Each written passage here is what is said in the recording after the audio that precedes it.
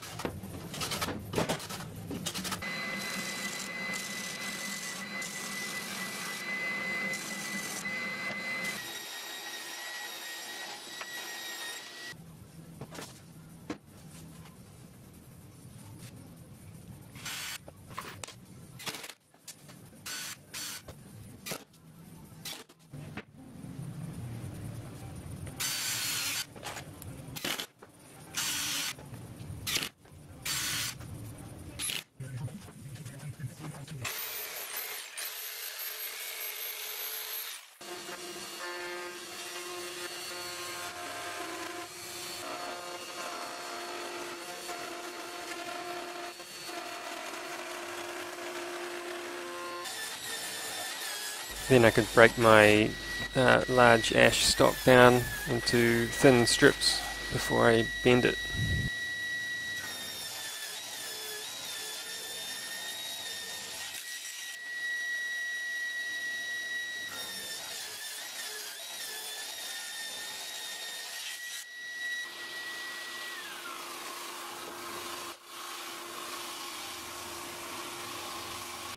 And these pieces were too long for my steaming pipe, so I just threw together a quick plywood box, which actually works really well.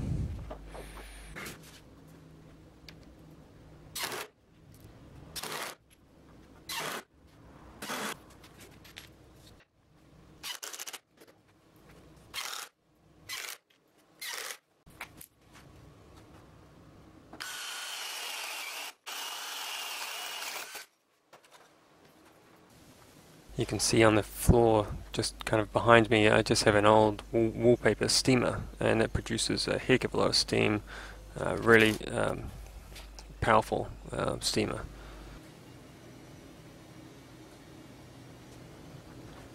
So this is my first go at steaming it and this is what you get when you don't put any thought into what you're doing. I just kind of thought it'd be okay and I'd, it would work. I didn't it didn't even really think about it, so needless to say, this is a fail.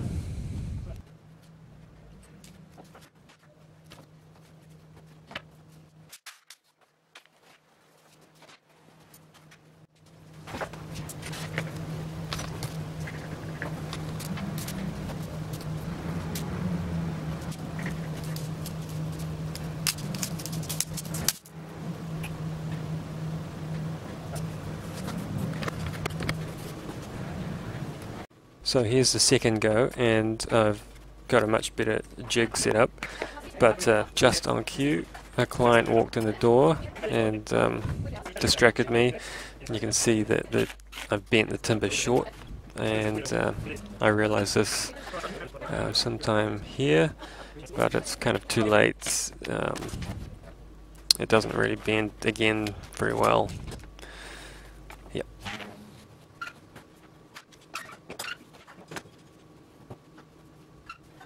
Okay, third time. Everything is set up, works good, and the bend goes really well.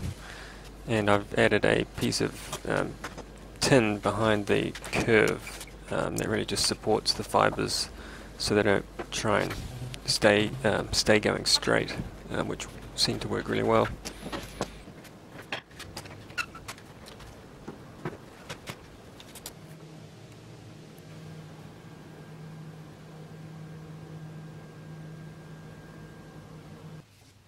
So after letting the pieces cool down and dry out, I've taken them out and uh, can glue it up. I'm just using PVA here.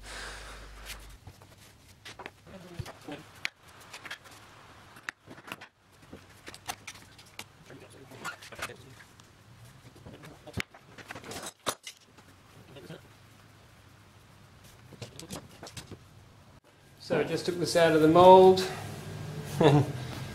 it's already opened up. And the backside looks pretty terrible. Gaps everywhere. Um, it's been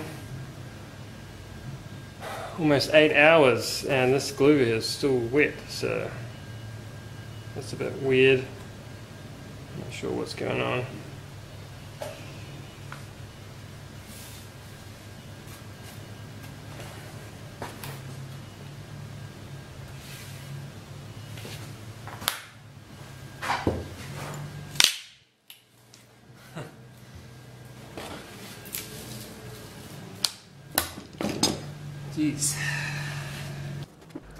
So after buying some more ash and bending it again, and now I'm gluing up with epoxy.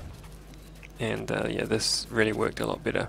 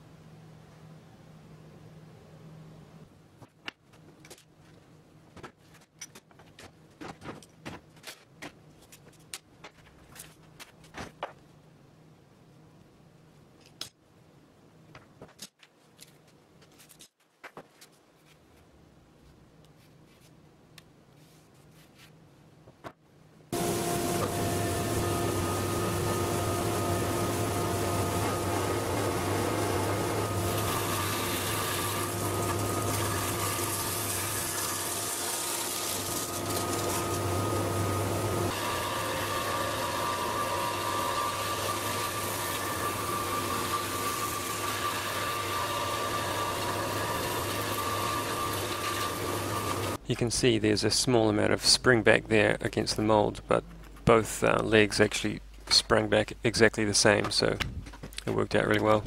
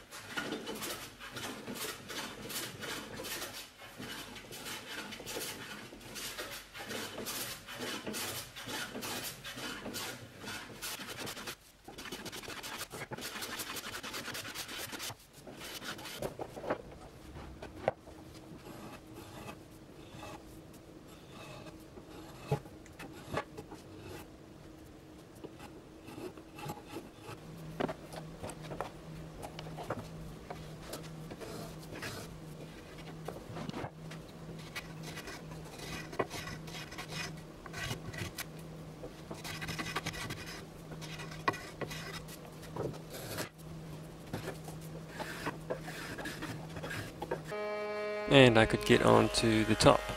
I had a piece of ash. It was 40 mil stock, so I, thought, I figured I could rip it in half um, and sand it down. Um, but it ended up sanding way too thin, so I had to go out and buy another piece of ash and start again.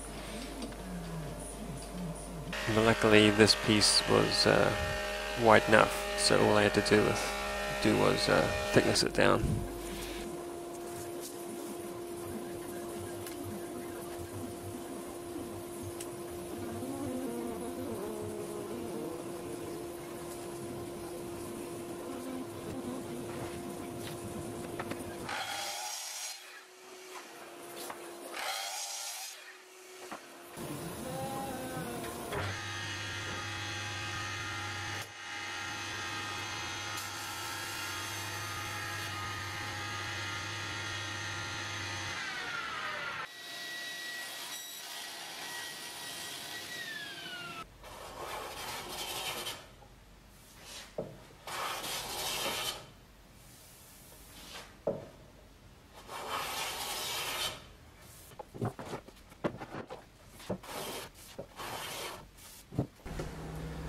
And I cut a couple of pieces out of the same board for the breadboard ends and um, so I'm just cleaning up the saw marks.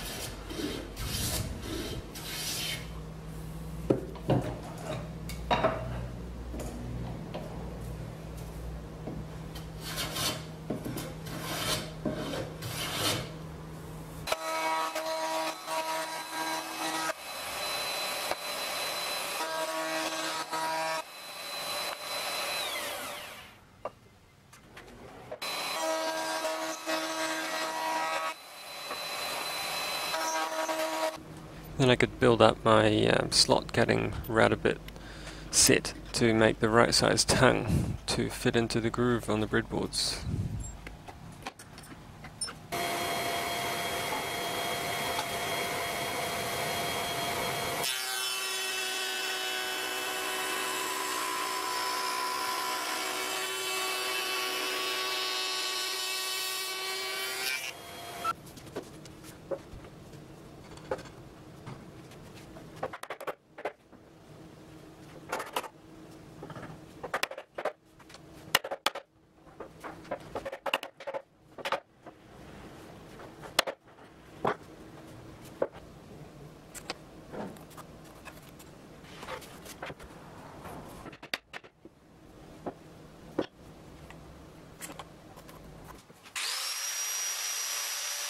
I've got the domino on the widest slot cutting set and I'm using a Shopmade 8mm uh, ash domino.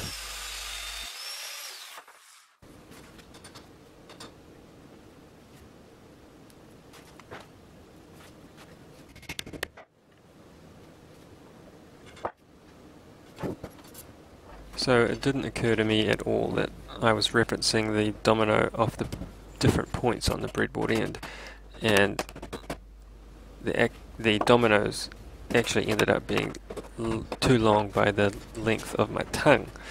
Um, and you'll see it takes me a little while to actually work that out. it's getting pretty frustrated, but I finally worked it out.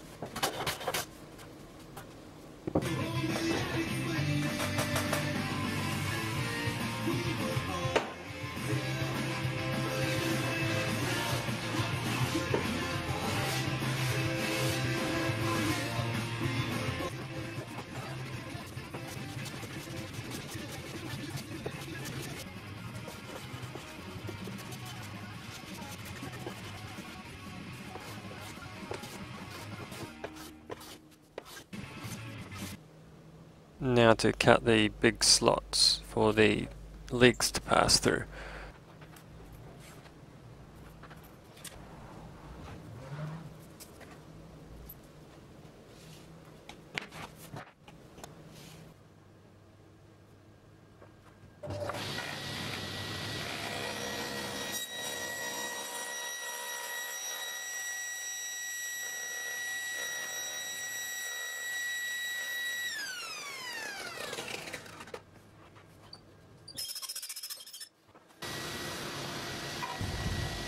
See the saw blade's a little off my mark, but I just crept up on this until I got a tight fit.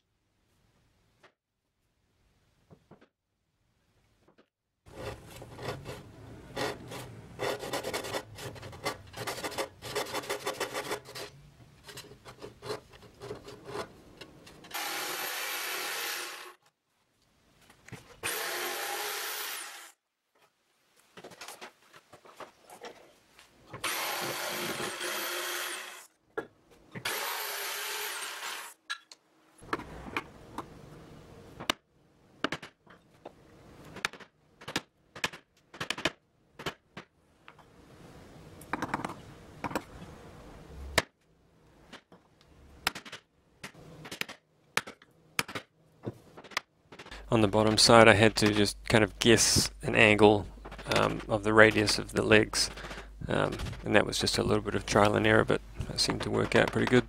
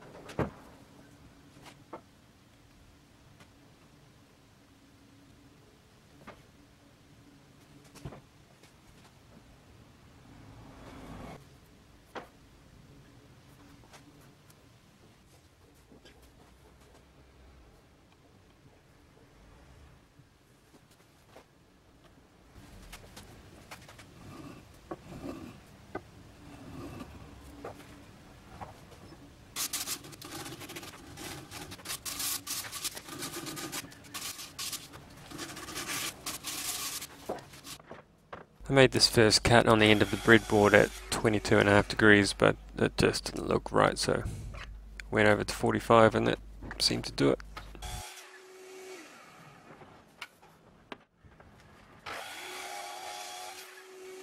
And just gave it a once over with 400 grit.